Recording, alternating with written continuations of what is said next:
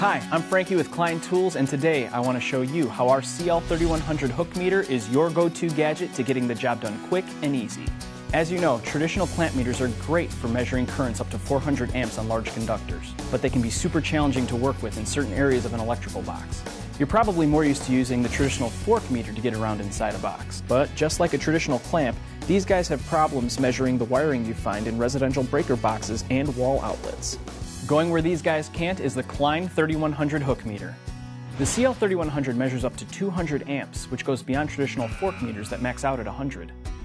Now, while most electrical testers and clamp meters allow you to measure up to 600 volts, the CL3100 allows you to measure up to 750 volts AC. And while you're taking the measurement, the 3100 has a built-in magnetic mount to assist you. This is huge, because now you don't have to worry about how to hold your meter while you have a measurement probe in each hand.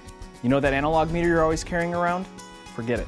The analog bar graph on the 3100 will show you any noise on the line. And how often are you working in the dark? Leave your flashlight in the bag because the CL3100 has a built-in work light to help you find the right wire right away. Then you can use your large backlit display to get your readings. Hear that? The continuity buzzer makes checking fuses and circuit breakers quick and easy. For over 150 years, you've relied on Klein for the quality of our hand tools. Now you can rely on us for the quality of our electrical testers, designed by electricians for electricians.